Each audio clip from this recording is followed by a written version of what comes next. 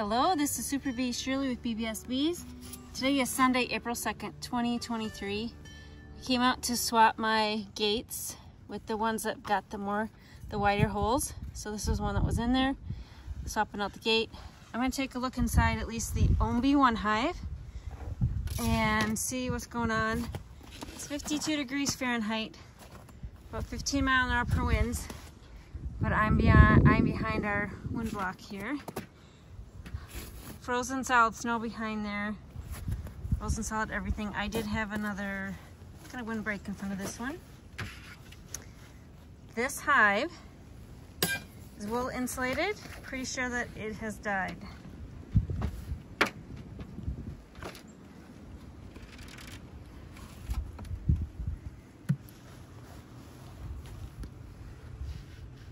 Dead bees there.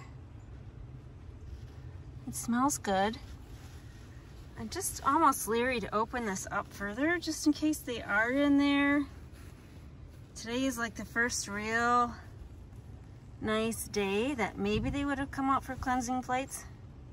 I'm in Wisconsin Zone 4B. It's been a crazy cold winter. And, you know, if they're huddling in there, I just hate to open them up. I did order two new packages, uh, so they'll be coming end of April. If for some reason both of my hives, I've got a hive right there.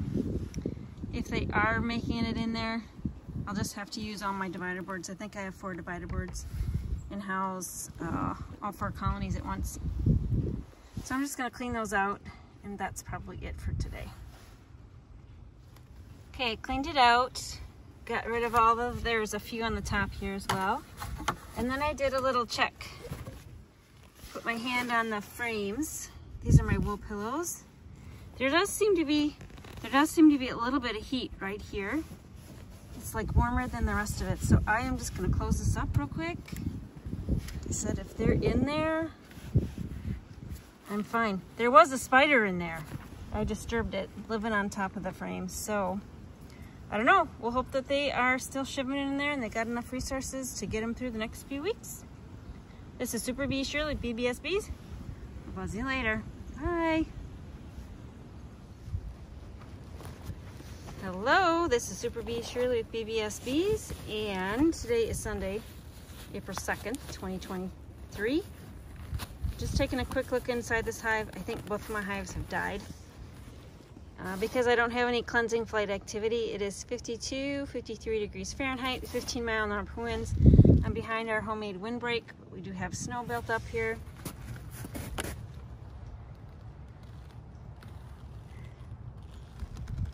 Oh my. Okay, first look, since they, since the fall shut up, a lot of bees. Oh, an additional mold this year. This hive has got styrofoam insulation. I am not liking that because look at all that mold. The hive that's insulated with wool does not have this mold pattern.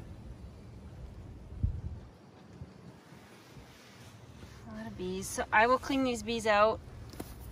You can see I already cleaned out. I opened up those holes and cleaned out what I could. All right, we'll check back in. Here's a better look at the mold. There were some bees that were stuck there in mold. I should have videoed that before I remove them.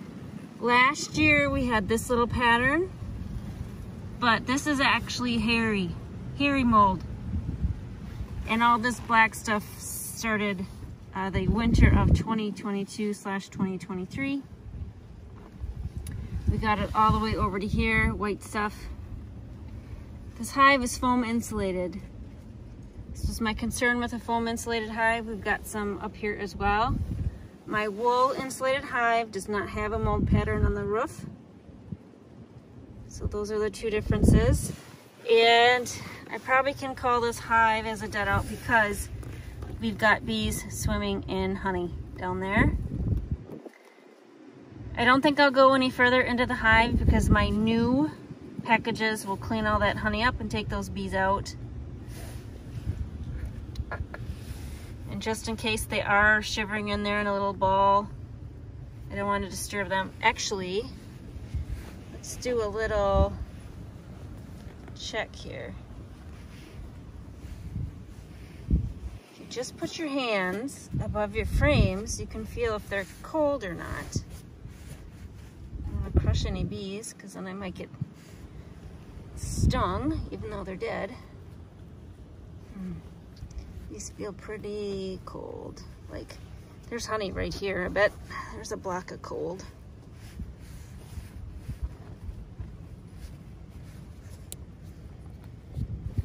This feels warmer up here, you know? So I am not, I am not gonna open this up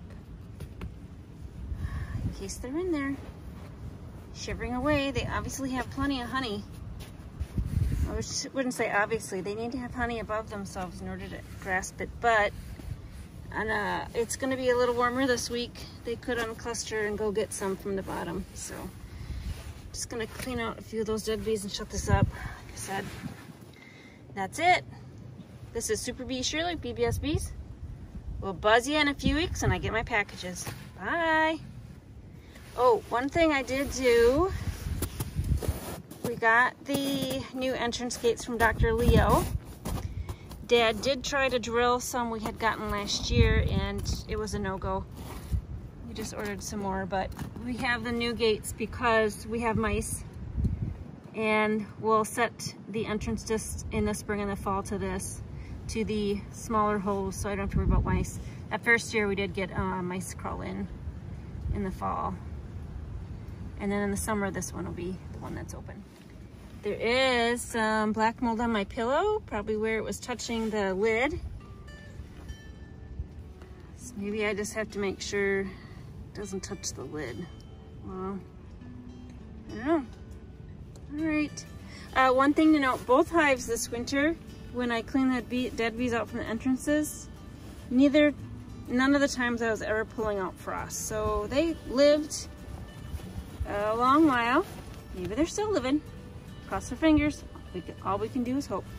All right, this is Super Bee Shirley, BBS Bees. Buzz you later. Bye.